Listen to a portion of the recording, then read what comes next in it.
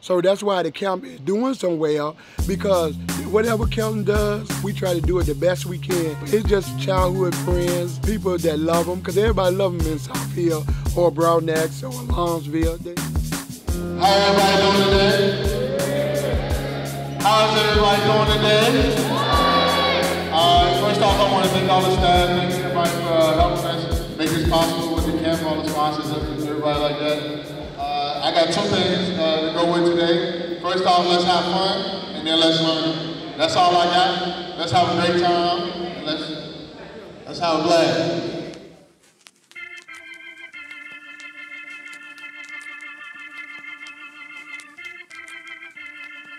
So we're in Broadnax, Virginia, hometown, you know what I mean, the house I grew up in, where everything started. Coming back here and seeing everybody that I pretty much grew up with, seeing my dad, my mom, all my family members, all my friends. Uh, it's kind of like, you know, just like a breath of fresh air, you know, seeing people I know, catching up with people, having fun, and uh, just joking around. As you can tell, I ain't got no voice. Me running around yelling at the camp. I definitely think Dorton here is, is big for me because this is where it all started at. This is what made me into the player I am today. So I think just giving back to this community is, is so huge for me having a basketball camp here. Seeing all the younger kids develop, uh, let them know that it's, it's possible if uh, they put their mind to it and they do the right things. Man, it's a blessing, man. It's special to see these kids, you know, have a smile on their face, you know, just giving back to the community. Because at one point, we was in a hot box, you know what I'm saying, sweating our tails off with Bryant Stith, and now we giving back and seeing the smiles. It's just so nice that he can come back and pave the way for other young people. Yeah, so uh, when I was younger, it's called Bryant Stith Basketball Camp. He, he played in the NBA with uh, a couple different teams, and uh, he was one of the best players ever come through uh, our district. When I was growing up, it was, it was so big every year every summer to go to Bryant Stith basketball camp and learn so many different things and grow and compete. If I looked up to them in that way, I know there's kids that look up to me in that way, and to me be able to even give back a, a quarter or a half of what he did is, is big for me just seeing how, how much time and dedication he spent, you know, with the kids at, at the camps and uh, having having a great time with it. And me being able to just be a quarter of that and affect the kids that I can affect and, and teach them and have fun with them, I feel like it's the main thing. Like just seeing all the smiles and the laughing, it makes my day actually. We have kids that come from Parkview, Bluestone, Greensville. You know, how cool is it to get a chance to play against an NBA player, talk to an NBA player? This was all about the next generation. Oh, this is marvelous. The kids, to see their expression on their faces when he walk in the gym. This give kids here something to hope for, to let them know that dreams do come true.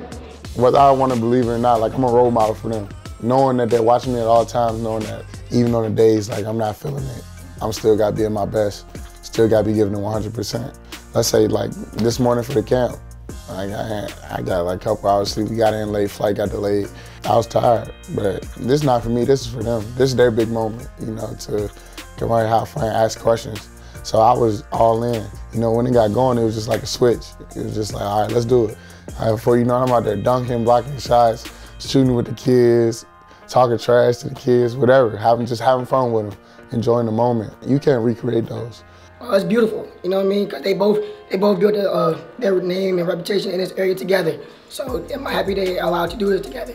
That's what it's all about. Yeah, and it's not a lot of like events going on like around in our small town. So it's always good when people can come back home and like you know support the community and give back.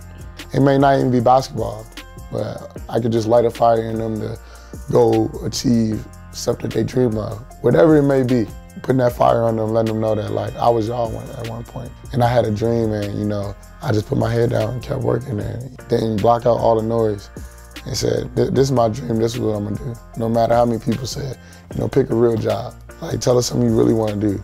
No matter what it was, I still like, I wanna be in the NBA. Like I, I, I don't care what you say, like that's my real job.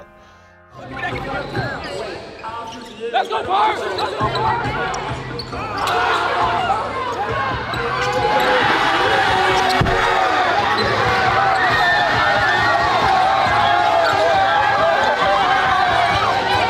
Can't forget where you came from. And um, that's one of the things I always push. He's the type of kid that you want around other kids, um, natural leader. You ask any person around me, they tell you, like, Keldon don't want nothing from me. Keldon just want what's best for me. And this is why I will say, I accept everybody for who they are. If you help me be the best version of myself and I'm helping you be the best version of yourself, why should I judge you for, for what you have done? Without my whole team, the whole Johnson family, I wouldn't be where I'm at today. Where I'm from, like y'all see us the minimum. We don't have no big mansion. We got a lot of space, a lot of yard, family, and we make it work. It's country. It's fun for me. I love it. And uh, that's always gonna be me.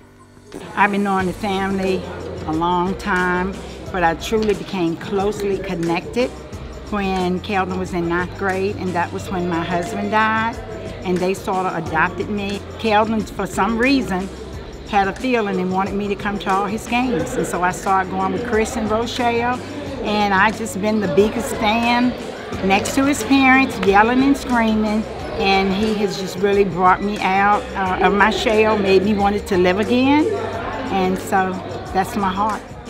My whole camp consists of like the main pieces is all family. Referees, my cousins, coaches, either my best friends or, you know, my brothers. I didn't have to stress one bit about the camp. And they put the whole camp together.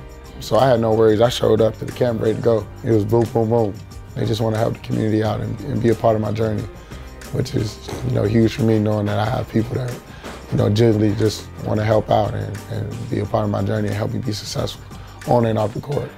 Any, any person that you've seen today at the camp or any person you've seen at the little cookout or any person I'm around every day, drop a dime, I would be there for them, anything they need. If it was vice versa and I need anything from them, just drop a dime because I know, I know it's genuine. I feel like my journey not complete until the people that's closest to me is living their dream as well.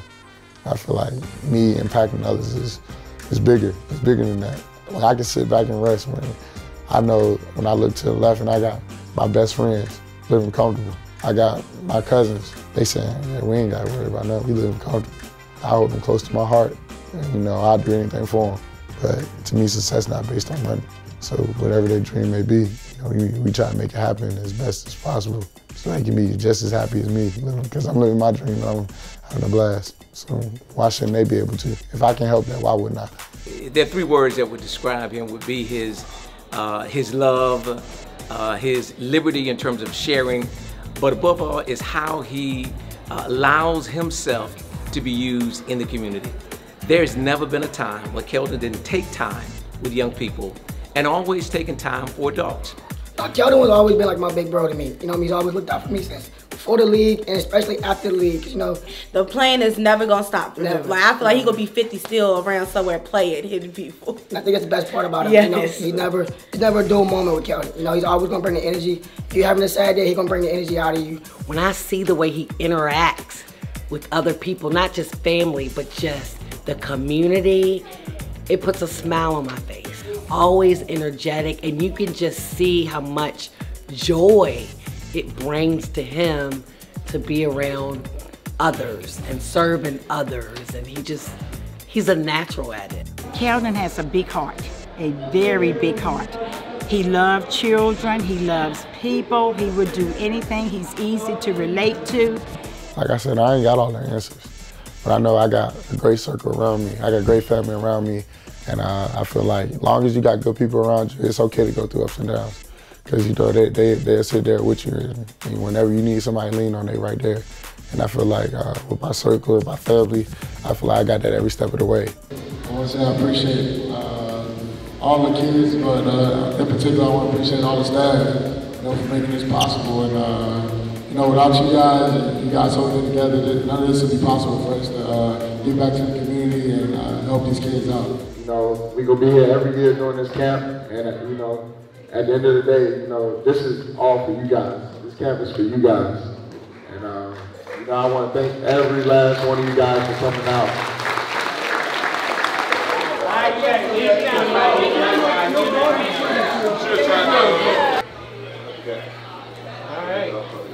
Come on now, lock me in, baby. Okay. You only see this in the hills, baby. There we go. What you making right now? All right, now you Not your problem. Not your problem. Now you gotta take it to Holly. All right. Tell her. Not your problem. Holly! Holly! Who missing nachos? oh, you? Facebook, you know. That's a little special. Yeah. Uh, I really love for it. Yeah, I hope so. I ain't short you or nothing like that. I appreciate it. Is this what you would do in your second life, making food for people? I'd either do that or be a farmer. A farmer. A farmer. Why a farmer? Cause I love animals. It's weird. Like I love animals. Like all kinds of animals. When I was little, little, I wanted to be a veterinarian. So then it's it's one layer of chips. Cheese, chips, cheese, chili. All right, Kellen, come on, tighten up, man. Slowing up. Just... Oh, all right, let me let me Hope it's still warm. Bennett's meeting us a little bit. Al's How long we known Keldon? He went to school with my youngest son. And then, uh, Kel, look how many orders you behind right now, man. Uh, that's not me. Oh. That can't be me. Does that mean for real? Not that often. We went out and saw him play uh, last year, I think it was. Then went to his house afterwards and hung out for a little bit. When he comes back, we always try to support him and you know, his basketball camps or whatever he's doing. Being a small community like this, you know, we all look after each other. Right. Support each other. And we always try to help out whenever we can. Yeah, you know, I had a, I had a great shift today. You know, I put in about 20 minutes, but you know, it's all it's all about the dot that counts. I'm gonna leave it up to the professionals. Get up, get up out their way. Well, I'm definitely about to put a big order in. Come on, man. Game because we've known you as when you entered Parkview as a big time scorer. You set a scoring record for the state of Virginia. What have you wanted people to see out of your game besides scoring? Uh, that I could pass and play defense and give uh, make my teammates better. My freshman year, I broke the record. Like I was like averaging like 27 a game. Matter of fact, here we go right here. Yes, sir. Freshman single season record five 597. This was pretty much like the, the start to everything. And that record was there for I think like 20 or 30 years. So he came right in and just dominated. I had friends to tell me, I think he got a chance to make it. And I said, man, I don't know. But then you just see him progress, progress, progress. I remember we used to go and uh, you couldn't even get in the gym because it was, I mean, it was so many people. I think you had to like get there like an hour and a half early. At that point, you're like, all right, this guy's probably probably gonna do something, you know. Like when Keldon came and we started going to the Brunswick games, it was just wide, electric. To get in, you there was people standing like in the entrance to the auditorium trying to like climb on top of each other just to see in the gym.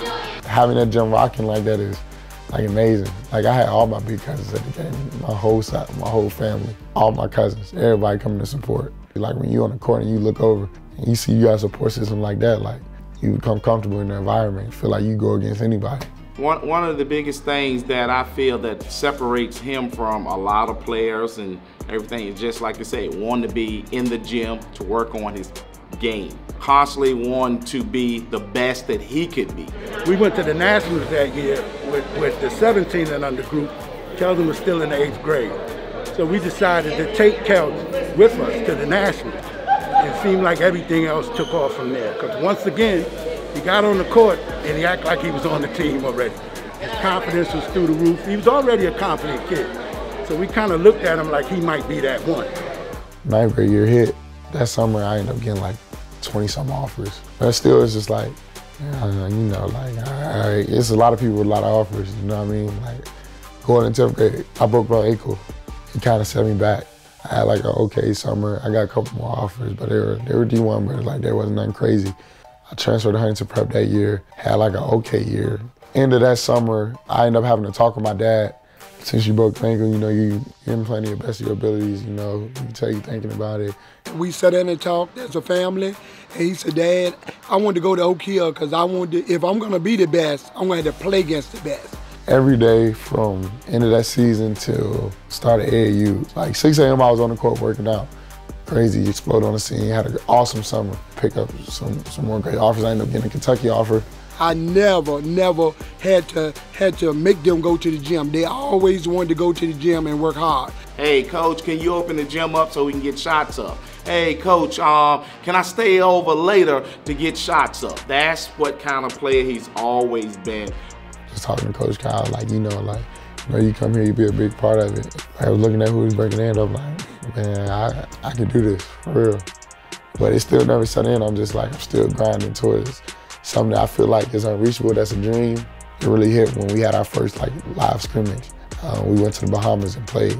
And then after that, it was just like, it's a matter of time for you to get there. Just being smart, keep playing great, and you know, having fun with it.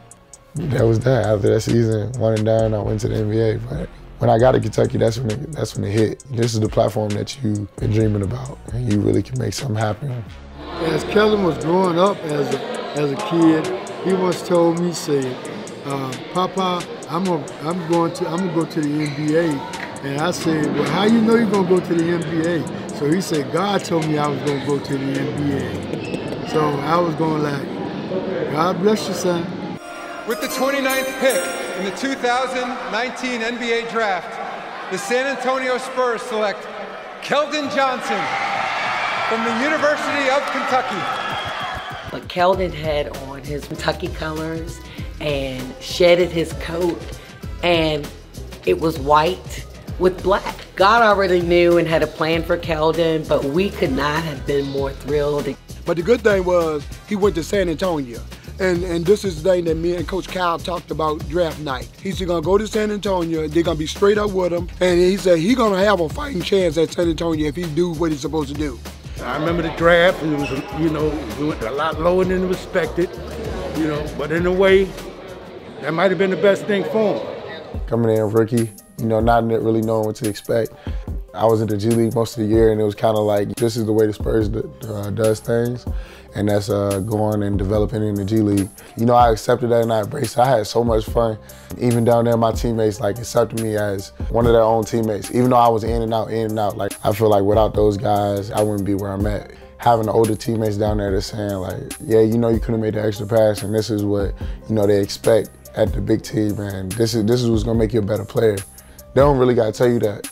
But having them corrected and the coaches corrected, you know, it's just like double reinforcement. I feel like I, I started to come up towards the end of the year. We had injuries with the big team. I got to play like, I think like three games.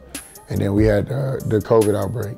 And then we went into the bubble and uh, I got an opportunity to play and, you know, I just made the most of it. And that's, that's all I needed, just get my foot in the door. I was prepared for it. At any moment, I knew that it could be my turn to, to go in there and, and, and make a difference. And when I got the opportunity, I, I didn't look back.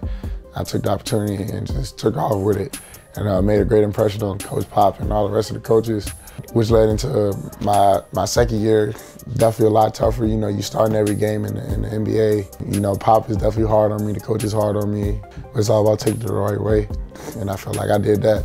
You know, and, and, but it gave me a great platform on like like a good formula of what I need to work on going into my, my third year, which was this past season. Even then, like I started off the year shooting so bad in my third year, and then it just kind of like clicked, and I was on fire. But it wasn't new to me because I knew I put in the time to work to to perfect that, and you know, kept kept shooting the ball, kept shooting the ball, and even my coaches and my teammates like keep shooting the ball, like it's gonna fall. And when it turned, it turned. I'm telling you, he done work hard. He done worked on his craft, and I'm telling you right now, he, he you're gonna be in for a treat. I'm gonna go through some rough spots uh, of being a leader, but uh, you know I want to help out our younger guys, be that outlet for them, be that be that big brother to them, so that you know they don't feel like they they alone or you know they have a bad game, they can't sit and say, yeah, Keldon, like what's what you think? And me being there to be honest with them, and we have a real honest conversation. And likewise, if I'm not doing what I'm supposed to do, that's what Keldon like. You know, you gotta pick it up, tighten up. And me respecting that and taking it the right way, you know, it's all about growing as a, into a leader. To be kind of, you know, labeled as that guy is definitely big, but I feel like uh, that's what I work for. You know, I sacrifice every summer, add something to my game and be a better player than I was the year before. With the young team we have, I just plan on, you know, leading them. You know, doing whatever I need to do for us to, you know, have the best season that we can have and, you know, win some games, have fun, and, you know, bond and grow and uh, just continue to, you know, be myself and, you know, have fun and keep learning and growing and getting better.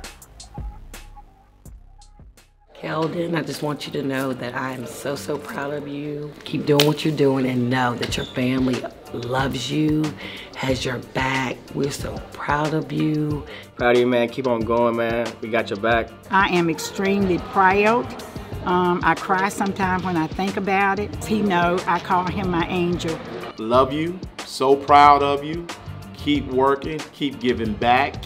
And I'm so proud of him. I'm so proud of his brother. I'm so proud of the family.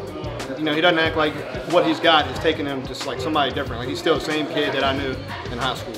Keldon, your nana very proud of you and love you and giving you a great big kiss. Your papa love you so much and care a lot about you. I mean, I mean from the moon and back. We just love you. Hey Keldon, it's your sister. I love you. Keep grinding. I'm always gonna be behind you, and we ready for the new season. 80 ball. Let's go. What up? What up, uh, KJ? You know, it's J Bone. You know, I'm I've been, I've been riding with you since the beginning. You know, I love you a lot. Keep working and don't let nothing get in your way. My boy. You don't like to kind of, you know, enjoy his accomplishments. He like he likes to stick to the grind, which is a good thing. But you know, as a big brother, I gotta say, man, I'm, I'm extremely proud of him. I told him the other day, he just keeps setting the bar higher and higher. He inspires me to do great. He inspires me to follow my dreams. So he, he is a prime example. If you work hard, anything is possible. Man, I love you, and keep and keep keep doing what they say you can't do. That's all you gotta do. Keep killing it, and I know you will, no doubt in my mind.